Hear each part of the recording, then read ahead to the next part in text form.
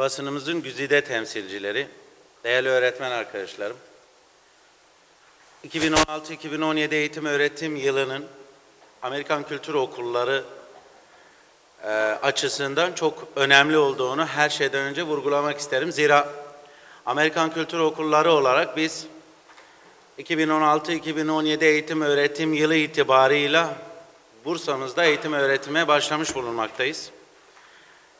Bu vesileyle hepimiz açısından hem hayırlı olmasını diliyorum hem de bu tanıtım toplantımıza lütfedip zahmet buyurup iştirak ettiğiniz için sizlere ayrıca teşekkür eder, saygılar sunarım.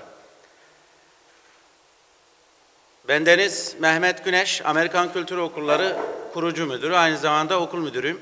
Takım arkadaşlarım, Aylin Hanım ajansımız, basın temsilcimiz, Melike Hanım bizim kurumsal iletişim sorumlumuz, Hayfi Hocam genel koordinatörümüz, Güneş Hocam genel müdür yardımcısı aynı zamanda ortaokul müdürü, İbrahim Hocam ilkokul bölüm koordinatörümüz, ilkokul müdürü, Abdullah Hocam İngilizce bölüm koordinatörümüz. Ve Şennur hanımefendiler sağ olsunlar velimiz aynı zamanda ve Yüksek Ziraat Mühendisi gıda mühendisimiz. Ve Ahmet Bey idari koordinatörümüz. Takım arkadaşlarımla birlikte sizleri tekrardan selamlıyorum. Amerikan Kültür Okulları'nın e, Ocak ayından itibaren Bursa'mızın karşısına çıktığında bir takım iddiaları vardı.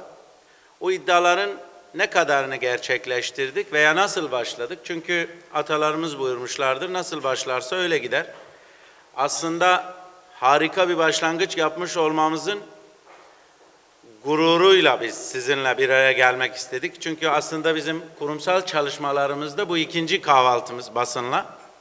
Birinci kahvaltımız hem kurumumuzun dışında olmuştu. Bu açıdan biraz da biz de misafirdik.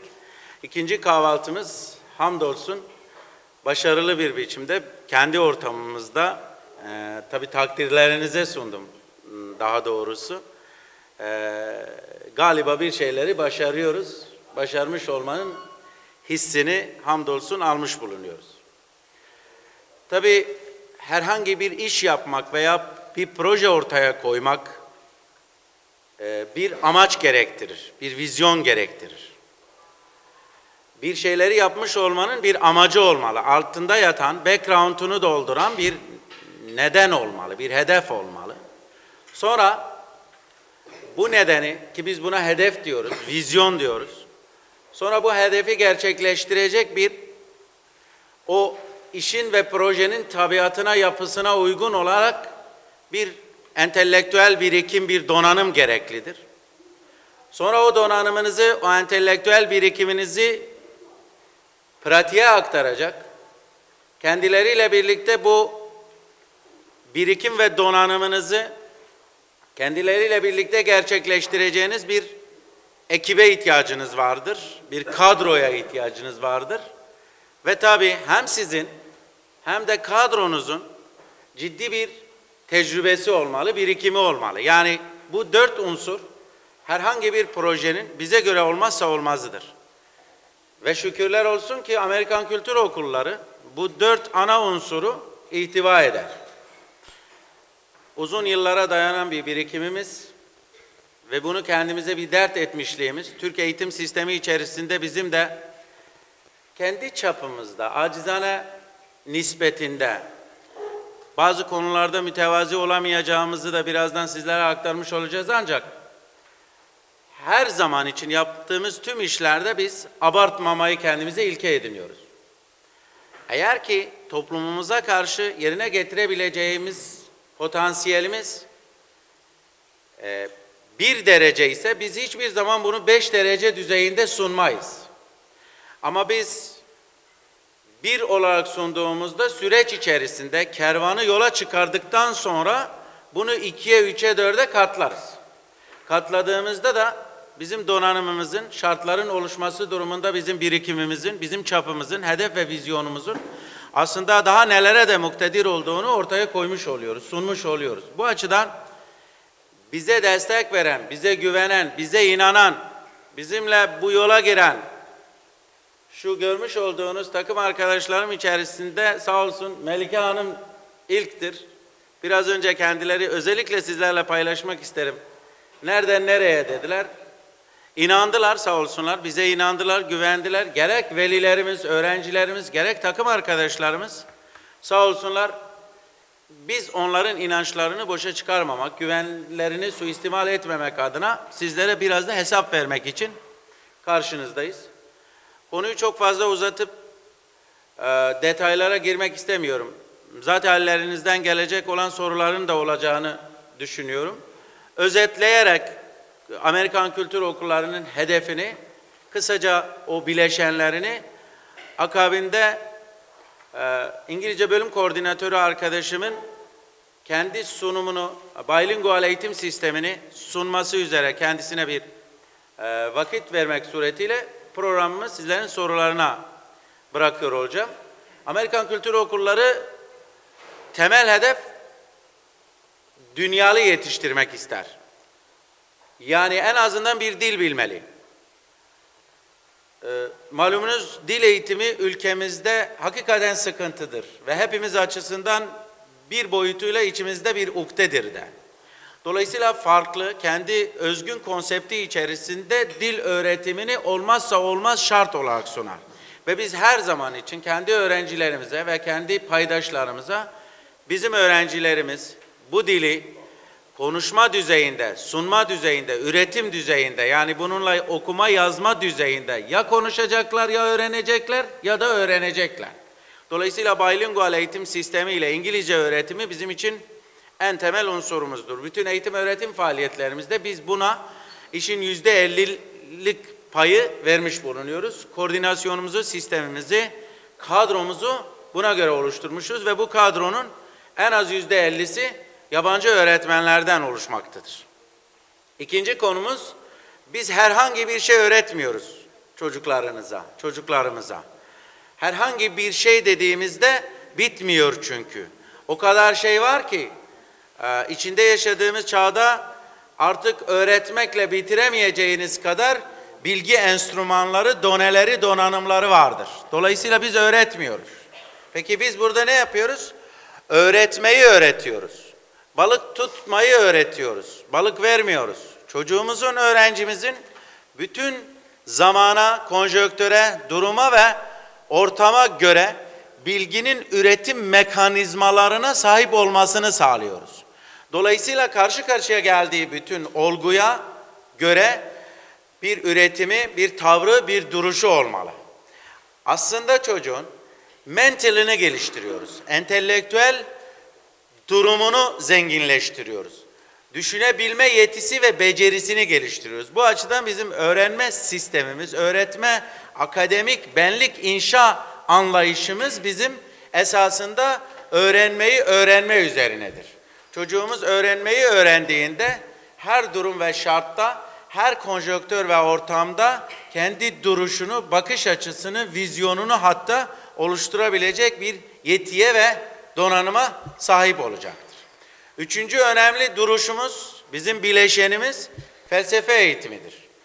Biz gururla ifade ediyoruz ki felsefe eğitimini müfredat programı olarak kendi know-how'ını oluşturmak suretiyle yani gerek eğitim öğretim faaliyetlerini yürütürken kullanacağı enstrümanlar ve gerekse metodolojiyi kendimiz oluşturmak koşuluyla biz çocuklarımıza okulumuz ortamında felsefe eğitimini veriyoruz. Aslında bizim vermiş olduğumuz felsefe eğitimi sakın karıştırılmasın. Biz çocuklarımıza okullarımızın bazı sınıflarında veya lisede yapıldığı gibi bazı felsefi şahsiyetleri tanıtmıyoruz. Platon'u sunmuyoruz, Sokrat'ı sunmuyoruz. Francis Fukuyama'nın e, nasıl bir şahsiyet olduğunu sormuyoruz. Sartre'ı öğretmiyoruz. Biz Sartre metodolojisini, eksistansiyalist bakış açısını öğretiyoruz. Çocuğun o zihinsel mekanizmasını çapraz düşünmeye, alternatif düşünmeye, üretmeye yönelik bir mekanizasyonunu oluşturmaya çalışıyoruz. Yani daha çok felsefi düşünebilme yeti ve yeteneğini oluştursun diye uğraşıyoruz. Ve bütün know-how'umuzu, duruşumuzu, metodik yaklaşımımızı bunun üzerine kurguluyoruz. Örnek verecek olursak eğer, biz çocuğumuzla